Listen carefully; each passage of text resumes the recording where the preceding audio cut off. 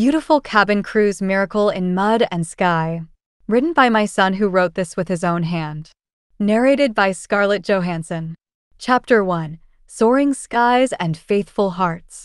In the bustling city of Seoul, the sound of planes taking off and landing filled the air, a constant reminder of the modern world's relentless pace.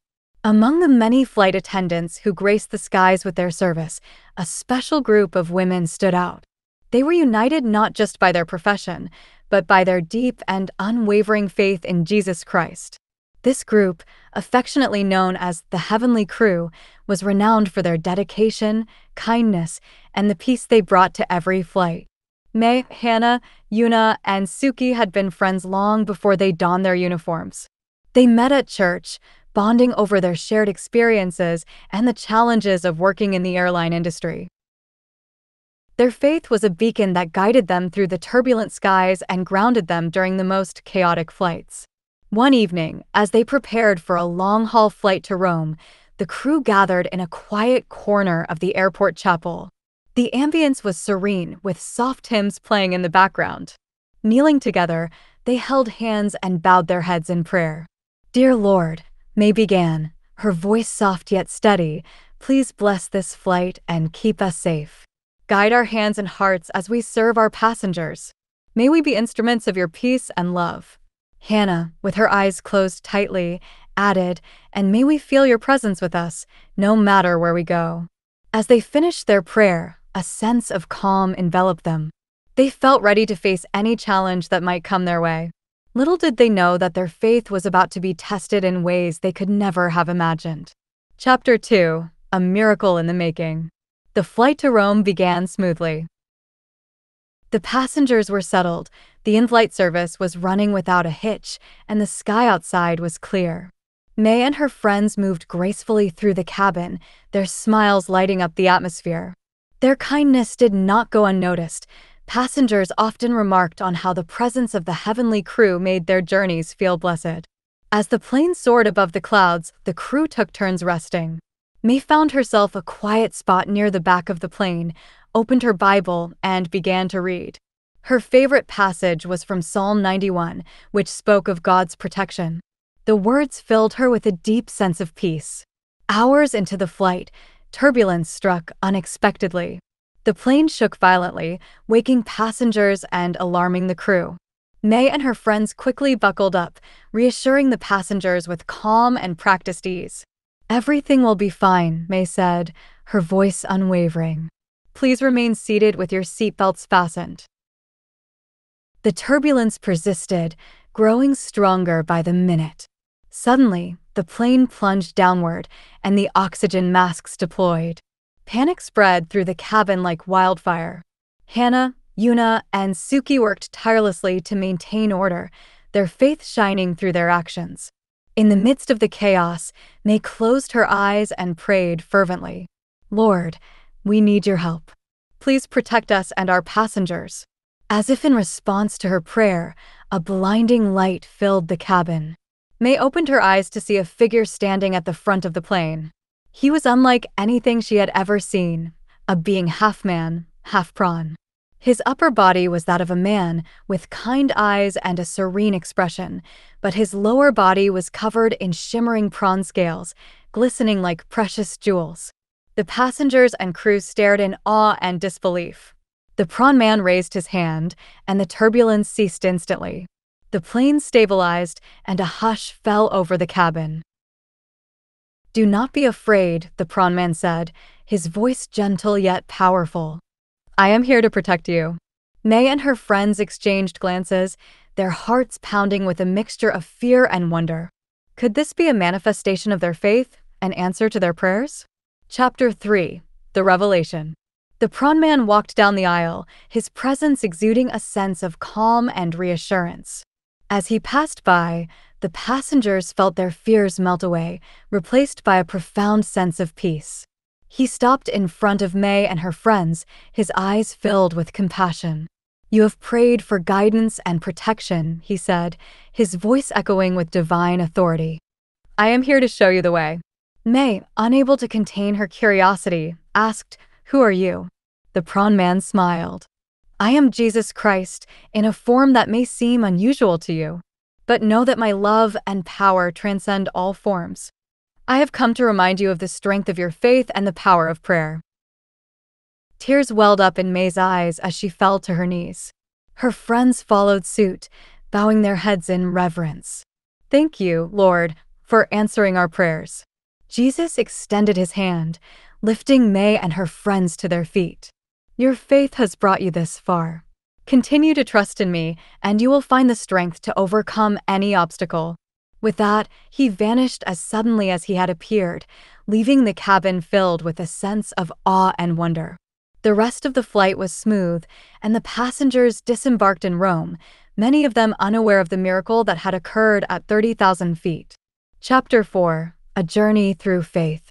The encounter with the prawn man Jesus left a lasting impact on May and her friends. They continued their work with renewed vigor, their faith stronger than ever. Word of the miracle spread among their colleagues, and soon, the heavenly crew became known not just for their service, but for their unshakable faith. One day, while on a layover in a small village in Thailand, the crew decided to visit a local church. The village was nestled amidst lush greenery, with a serene river flowing nearby. The church was a simple wooden structure, but it radiated a sense of sacredness. As they entered the church, they were greeted by the local priest, Father Ananda. He welcomed them warmly and invited them to join the evening prayer service. The crew knelt on the wooden pews, their hearts open to the experience. During the service, Father Ananda spoke about the power of faith and the miracles that come to those who believe. His words resonated deeply with May and her friends. After the service, they shared their story with him, describing their encounter with the prawn man Jesus. Father Ananda listened with great interest. Your experience is a testament to the boundless nature of faith, he said. Miracles often come in forms we least expect. Your story will inspire many to believe in the power of prayer.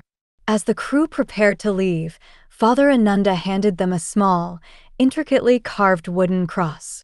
Take this as a symbol of your faith and a reminder that Jesus is always with you, in any form.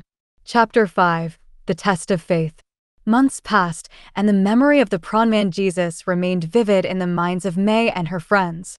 They continued to serve with dedication, their faith a guiding light in their daily lives. However, their faith was about to be tested once more. On a flight from Tokyo to New York, the crew encountered severe weather. A massive storm loomed ahead, with lightning illuminating the dark clouds. The captain announced that they would need to make an emergency landing due to engine failure. Panic spread through the cabin as the plane began to descend rapidly. May, Hannah, Yuna, and Suki moved quickly to calm the passengers, their own hearts filled with a mixture of fear and hope. As the plane hurtled towards the ground, May closed her eyes and prayed with all her might. Lord, please help us. We need a miracle. At that moment, the plane lurched violently, and they found themselves enveloped in a thick, murky fog. The plane landed with a heavy thud, skidding to a halt in what felt like a vast expanse of mud. The emergency exits were deployed, and the passengers and crew evacuated into the muddy terrain. The storm raged on, with rain pouring down in torrents. May and her friends helped guide the passengers to safety, their uniforms soaked and muddied. As they huddled together in the mud, seeking shelter from the storm, May led her friends in prayer. Lord, we trust in you. Please protect us and show us the way. Suddenly, the same blinding light that had filled the cabin months ago appeared once more. The prawn man Jesus stood before them, his presence a beacon of hope amidst the chaos. Do not be afraid, he said, his voice cutting through the storm. I am here to guide you. With a wave of his hand, the storm began to subside. The rain lessened, and the clouds parted, revealing a clear sky. The mud beneath their feet began to dry, solidifying into firm ground. You have shown great faith, Jesus said, his eyes filled with pride. Continue to trust in me, and you will find the strength to overcome any adversity. May and her friends knelt in the mud, their hearts overflowing with gratitude. Thank you, Lord, May whispered, her voice choked with emotion. We will never doubt your power and love. Chapter 6 The Ascension The crew and passengers were soon rescued and taken to safety. The miraculous events were reported widely, with many attributing their survival to a higher power. May and her friends continued their work, their faith now known to people far and wide. The heavenly crew became symbols of hope and faith in the airline industry. Their story inspired many to believe in the power of prayer and the presence of miracles in everyday life. One evening, as they gathered for their usual prayer session in the airport chapel, they felt a sense of completeness. Their journey had been filled with challenges, but their faith had guided them through every storm. As they prayed, May felt a gentle touch on her shoulder. She looked up to see the prawn man Jesus standing before them once more. His eyes were filled with a gentle, loving light. You have fulfilled your mission with great faith and courage, he said. Now it is time for you to ascend to new heights. With that, a radiant light enveloped the crew, lifting them upwards. They felt a sense of peace and joy, knowing that they were being guided by the divine hand of Jesus. As they ascended, they looked down upon the world, their hearts filled with love and gratitude.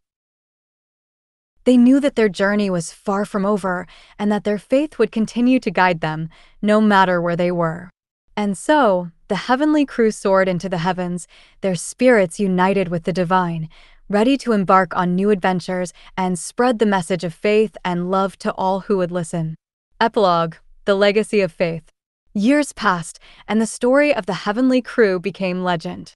Their encounter with the prawn man Jesus was told and retold, inspiring countless souls to believe in the power of faith and the presence of miracles. In the bustling city of Seoul, a small chapel was built in their honor. Pilgrims from all over the world visited, seeking solace and inspiration. The chapel's walls were adorned with paintings depicting the miraculous events, and a wooden cross, a gift from Father Ananda, hung prominently at the altar. Inside the chapel, a group of flight attendants knelt in prayer, their hearts filled with hope and faith. They were the new generation, ready to take to the skies, guided by the legacy of the heavenly crew. As they prayed, a gentle breeze filled the chapel, and for a moment, they felt the presence of the prawn man Jesus, his love and guidance enveloping them. They knew that they were not alone and that their faith would carry them through any storm. And so, the legacy of the heavenly crew lived on, a testament to the enduring power of faith and the miracles that come to those who believe. The end.